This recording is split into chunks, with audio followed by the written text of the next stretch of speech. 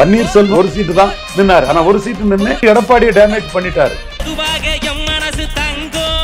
ஒரு போட்டின்னு வந்து விட்டா ஜிங்கோ.